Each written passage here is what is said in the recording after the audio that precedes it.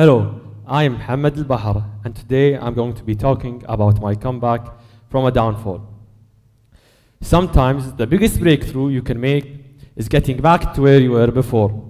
Because we all fall behind once in a while, right? I can tell you when I fell behind COVID, the pandemic. And I know I am not the only one.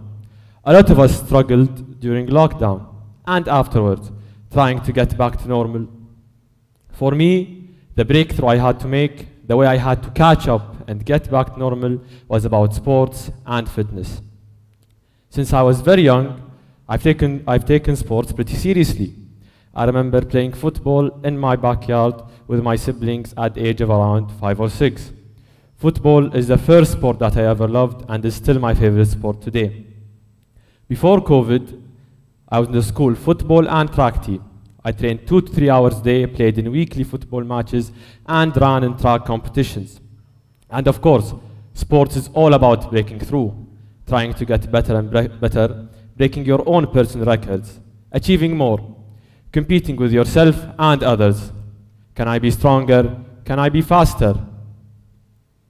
I remember my big breakthrough in track. In middle school, I tried out for the 100 meters race. I did not take it seriously as I just wanted to see how fast I was. Astonishingly, I came first and was qualified to the team. And in football, about five years ago, me and my team participated in the Gothia Football International Tournament in Sweden. I remember scoring the first goal of the game, which was then ruled out by the referee. Anyways, I went on to score three more goals, which won us the game and allowed us to progress to the next round. That was breaking through for me because I was able to realize my true potential. And I still remember my coach telling me that these are the moments and memories that you should be aware of, as that's what's going to help you elevate your game. And that's what I've been doing ever since. So, sports helped me physically and mentally. I always felt fit and strong. But what I did not realize is that football also helped me focus and regulate my daily routine. However, I learned this out the hard way when the COVID 19 pandemic happened. Before COVID, my daily routine was extremely busy, planned by the minute. Between schoolwork, extracurriculars, sports, and social life, I barely had time to breathe. However, I loved it because it always made me feel more productive. I would wake up at 6 a.m. in the morning to go to school, and after school, I would have my football practices and meetings. So I wouldn't be home until around 7 p.m. The weekends would be packed too. Everything would be pre planned, which gave me a feeling of structure.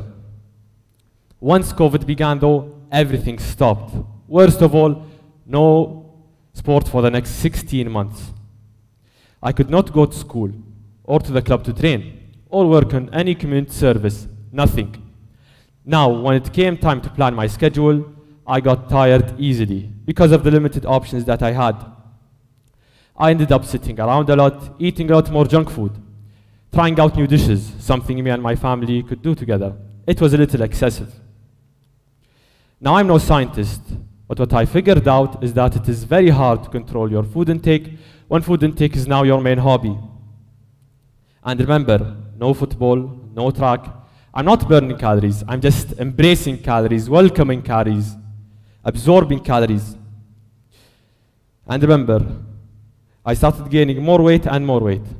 By the time things started to get back to normal, I said, wow, that's not me. Where did I go?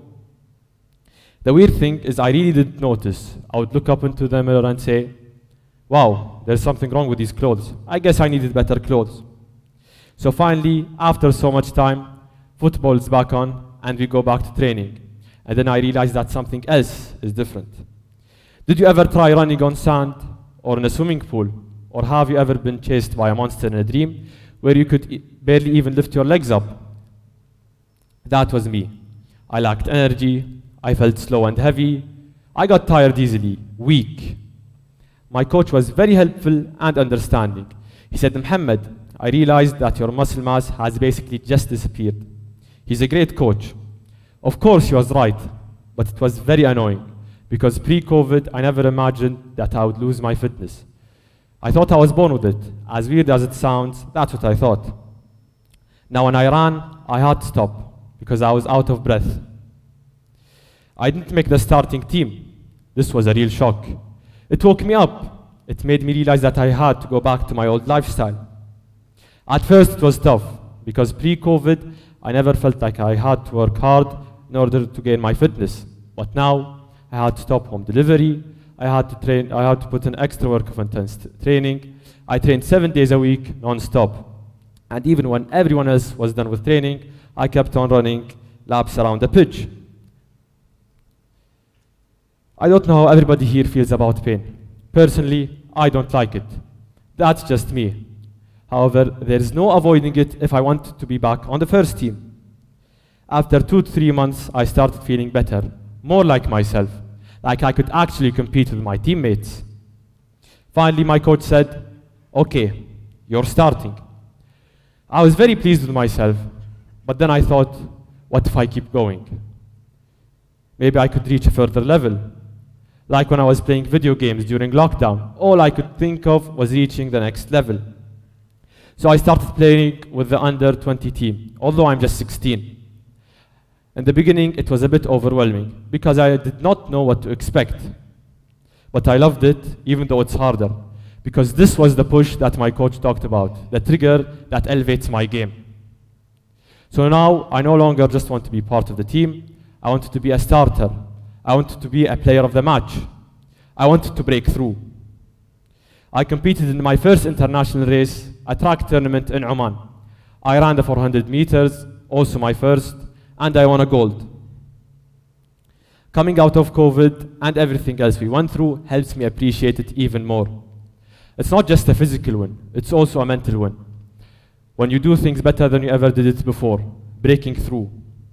For me, it's sports, but it could be anything you love doing. So, whatever you love doing, try to find what elevates your game and helps you break through. Also, take it easy on home delivery. Trust me. Thank you.